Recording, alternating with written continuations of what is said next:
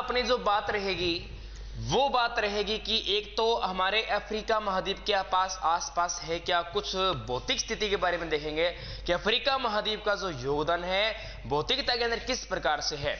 मान लो इस प्रकार से यहाँ अपना ये ये, ये महाद्वीप हो गया अपना और इस महाद्वीप का नाम हो गया अफ्रीका महाद्वीप। ये जो मैं बना रहा हूँ ये मान लेते इस प्रकार से अपना अफ्रीका महाद्वीप है। ये है अपना अफ्रीका महाद्वीप। और इधर ये जो बाउंड्री लग रही है इस प्रकार से। यहाँ जो सीमावर्ती क्षेत्र लग रहा है इस प्रकार से तो ये मान लो अपना आ जाएगा और इधर ये एशिया महाद्वीप का क्षेत्र आ जाएगा यहाँ पर ये।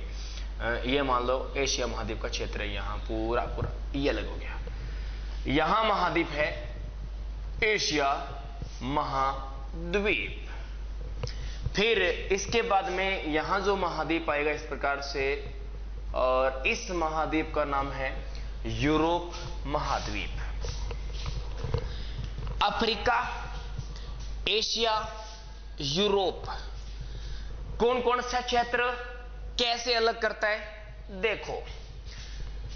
एशिया, अफ्रीका महाद्वीप के उत्तर में यहाँ एक सागर लगता है, जिसका नाम है भूमध्य सागर, इक्वेनोक्सी। ये हो गया भूमध्य सागर। फिर इसके पूर्व में लगता है, यहाँ जो पूर्व में लगता है, वो क्या लगेगा? इंद महासागर। हिंद महासागर वेरी गुड हिंद महासागर, बाकी है अरब सागर का भी भाग आता है। यहाँ एक द्वीप है, उसको बोलते हैं मेडागास्कर। मेडागास्कर द्वीप। ये द्वीप हो गया मेडागास्कर द्वीप। इसके पूर्व में यहाँ जो महासागर लगता है, इसका नाम है एंटेलाटिक महासागर। यहाँ जो महासागर आएगा, इसका नाम है अंटलाटिक महासागर। दोबारा देखो। अफ्रीका महाद्वीप, उत्तर में भूमध्य सागर, उत्तर पूर्व में एशिया महाद्वीप, उत्तर में एक महाद्वीप और लगा, जिसका नाम है यूरोप महाद्वीप पूर्व में महासागर लगा इसका नाम हिंद महासागर और पश्चिम में महासागर लगा इसका नाम एंटेलाटिक महासागर। दक्षिण में दोनों महासागरों का स्मिलन आ जाएगा अंटलाटिक महासागर का भी भाग आएगा और इसके अलावा हिंद महासागर का भी इसके अंदर भाग आ जाएगा। फिर यहाँ देखते हैं, एशिया महाद्वीप और अफ्रीका महाद्वीप के मध्य क्या है? यहाँ जो आएगा, एक तो आएगा लाल सागर, रेड सी। यहाँ गए तो लाल सागर आएगा। और देखो, इस भूमध्य सागर और लाल सागर को जोड़ने का जो काम करती है, यहाँ एक नहर बनाई गई थी, जिसका नाम है स्वेज नहर। दुनिया की सबसे लंबी नहर कौन सी है? यह आपकी आ जाएगी स्वेज नहर। तो इस प्रकार यहाँ नहर आ गई, जिसका नाम स्वेज नहर। अफ्रीका को एशिया महाद्वीप अलग करता है स्वेज नहर और लाल सागर के माध्यम से। फिर यूरोप और अफ्रीका के मध्य भूमध्य सागर, यहाँ एक संधि है। यहाँ एक संधि है जिसका नाम है जिब्राल्टर संधि। तो विद्यार्थियों, में आपसे इस शब्द के बारे में और बात करना चाहूँगा। राजस्थान के अंदर अजमेर में किला है, दुर्ग है। अजमेर अजय दुर्ग को राजस्थान का जिब्राल्टर कहा जाता है। जिब्राल्टर क्यों कहते हैं, इसका रीजन देखेंगे। देखो, कोई जोड़ने का कारण नहीं है। जो संधि का काम यहाँ कर रही है, वो अजमेर के अंदर महत्व विश्व हैदर के नाम से एक व्यक्ति था। अंग्रेज़ उस व्यक्ति ने राजस्थान के अजय दुर्ग को क्या कहा था?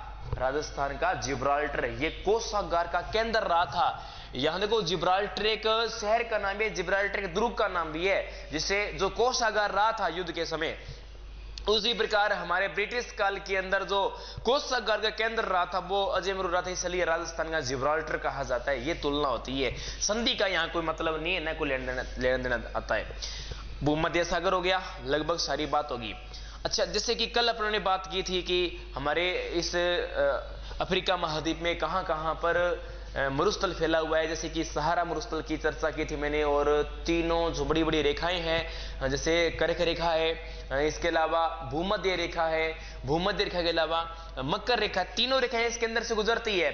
और अब जो अपनी बात आती है, देखो अफ्रीका महाद्वीप के पूर्व में एक स्थान है, जिसका नाम है मोन्जाबिक देखो, पूर्व कौन सा होगा? ये वाला। यही क्षेत्र पड़ता है मोन्जाबिक क्षेत्र पड़ता है, इसको बोलते हैं मोन्जाबिक क्षेत्र।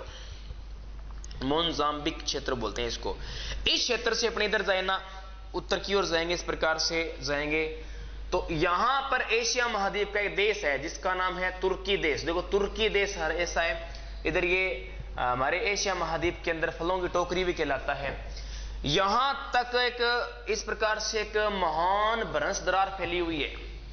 एक महान, ये भ्रंश दरार फैली हुई है। महान भ्रंश, महान भ्रंश या महान दरार बोल ज़रूरत महाभ्रंश बोल दो, एक ही बात है। अच्छा इसको आप कह सकते हो Great Rift Valley Great Rift Valley या इसको महान भ्रंश कह सकते हो। क्या है ये? देखो, इस प्रकार से यहाँ से चलती है, इस प्रकार से, इस प्रकार से पूरे प्रतिकरण काम करती है ये। ये हमारे विश्व की सबसे लंबी भ्रंश भ्रंश है जिसकी कुल लंबाई 2600 किलोमीटर आती है। इस भ्रंश की कुल लंबाई कितनी है? 2600 किलोमीटर इस भ्रंश की कुल लंबाई आ जाती है। फिर और बात करें तो इसके पश्चिमी अंदर बात करें, देखो यहाँ पर तंजानिया देश आता है। उस तंजानिया के पास थोड़ी सी इसकी तरह पश्चिम में भी चलती है, इसको पश्चिमी भ्रंश बोलते हैं। इसको पश्चिमी भ्रंश कहा जाता है। यह अफ्रीका महाद्वीप का इस प्रकार से भ्रंश के अंदर अपना योगदान रखता है। इसके अलावा भ्रंश अपने ऑस्ट्रेलिया महाद्वीप के अंदर भी आएगा, उसमें भ्रंश को पढ़ेंगे, अफ्रीका महाद्वीप में भी आ गया, ये भी भ्रंश आ गया। अच्छा इतनी बात कवर है? यहाँ तक कोई प्रॉब्लम नहीं होनी चाहिए। एशिया महाद्वीप में देशों की संख्या चौपन है। एशिया महाद्वीप में देशों की संख्या कौन सी है? चौपन है। ध्यान रहे, दक्षिण दक्षिणी अफ्रीका खुद एक देश है। दक्षिणी अफ्रीका यहाँ देश है। इस प्रकार से अलग से देश आता है। गांधी जी गए थे, वो दक्षिणी अफ्रीका गए थे गांधी जी फिर अपने नेक्स्ट कड़ी में लेकर चलते हैं तो अब पढ़ेंगे एशिया महाद्वीप के प्रमुख मरुस्थल जो आते हैं, उन मरुस्थलों की चर्चा करने वाले मरुस्थल में सबसे पहले जो मरुस्थल आएगा, इस मरुस्थल का नाम है सहारा मरुस्थल सहरा डेजर्ट। ये हमारे विश्व का सबसे बड़ा, सबसे विशाल मरुस्थल है, जो पिछहत्तर लाख वर्ग किलोमीटर में विद्यार्थियों फैला हुआ है। इस मरुस्थल की बहुत शानदार विशेषता है। यह मरुस्थल विद्यार्थियों लगभग लगभग हमारे एशिया महाद्वीप के पिछहत्तर लाख वर्ग किलोमीटर में फैला हुआ है यह मरुस्थल इसके अलावा यदि और बात की जाए तो ये इसका विस्तार लगभग लगभग अफ्रीका महाद्वीप के 12 देशों के अंतर्गत आता है, जिसमें इरिट्रिया, मिस्र, सुडान, मोरक्को इसके अलावा अल्जीरिया, ट्यूनिशिया चाड नाइजर मरिलिया और लीपिया लीदियार पश्चिमी सहारा और माली कई देश आते हैं। देखो, सबसे मेन मेन इसमें देश है ना, वो आप ये ध्यान रखोगे। इसके अंदर इरिट्रिया आता है, मिस्र आता है, सुडान आता है, मोरक्को आता है, अल्जीरिया आता है ट्यूनिस आता है चाड आता है नाइजीर आता है, इसके अलावा इसमें पश्चिमी सहारा और माली, ये इसके प्रमुख देश है। देखो, कोई भी मरुस्थल होता है तो उसके अंदर आप ये दो बात ज़रूर ध्यान रखोगे। वो दो बात कौन कौन सी दो आती है? एक तो आ जाएगी अपने मरुस्थल दो प्रकार की होते हैं। देखो मरुस्थल अलग अलग विशेषता होती है। जैसे आप थार डेजर्ट में पढ़ते हो, मरुस्थल के तीन प्रकार है टाइप ऑफ़ डेजर्ट के अंदर।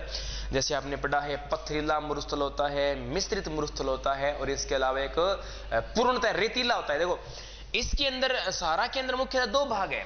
सहारा मरुस्थल में मुख्यतः दो भाग है। एक तो इसके अंदर पाया जाता है पथरीला। इसके अंदर एक तो पाया जाएगा, लगभग पथरीला मरुस्थल पाया जाता है। और दूसरा इसके अंदर जो भाग रहता है वो पूर्णतः रेतीले की बात रहती है। जिसे इर्ग अर्ग बोल देते हैं। इसको इर्ग अर्ग बोल देते हैं। ज़्यादातर अपने राजस्थान क्षेत्र में पढ़ते हैं। ये तो इर्ग शब्द मिल, सुनने को मिलता है और पथरीले को ये निश्चित हमादा बोलते हैं। सहारा मरुस्थल का जो पथरीला भाग है, उसको किस नाम से जाना गया है? उसको हमादा के नाम से जाना जाता है। फिर देखो, सहारा मरुस्थल के अंदर एक जाति है। मतलब उनको टिकाव नहीं आता है। वो लोग वस्त्र भी न्यून वस्त्र धारण करते हैं कम कपड़े पहनते हैं। कम कपड़े पहनते हैं टिकाव नहीं आता, एक स्थान से दूसरे स्थान घूमते रहते हैं। मतलब आप इन, इन्हें सलवासी कह सकते हो, सलवासी। या आप इन्हें कह सकते हो घुमक्कड़। सलवासी या इन्हें घुमक्कड़ भी कह सकते हो। उस जाति का नाम है बुद्धू। बुद्धू के नाम से जनजाति है। अरे, कम कर लिया ना। बुद्धू के नाम से जाती है चलवासी और गुमक्कड़। विशेष बात क्या आती है इस जाति की? देखो मरुस्थलीय प्रदेश की जाति है। अपने एक मरुस्थल और कालाहारी यहाँ पर। अफ्रीका महाद्वीप एक मरुस्थल और है, जिसका नाम है कालाहारी मरुस्थल। इसके अंदर भी कई जातियाँ रहती है। इसमें बंटू के नाम से है, निग्रो के नाम से है, इसमें और भी कही जाती है। तो दो बड़े बड़े कुल तो यहाँ बड़े स्तर पे तीन मरुस्थल आते हैं अफ्रीका महाद्वीप के अंदर। उन तीन मरुस्थलों के अंदर सबसे पहले तो नाम आएगा सारा मरुस्थल का, दूसरा आएगा कालाहरी मरुस्थल, तीसरा है नामीब का मरुस्थल कहलाता है।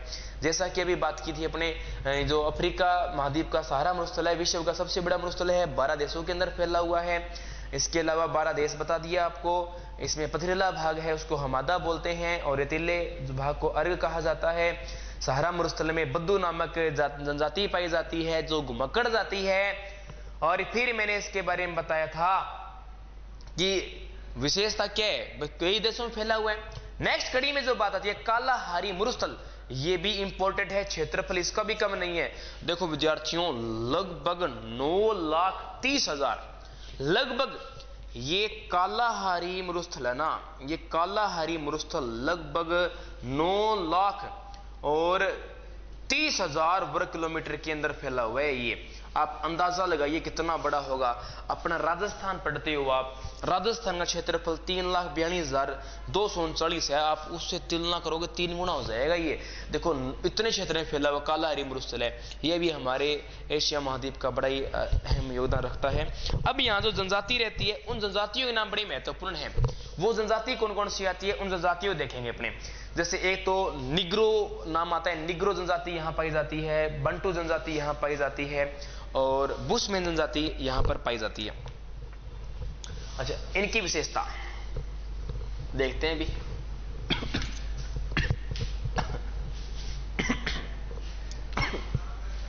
Negro, bushman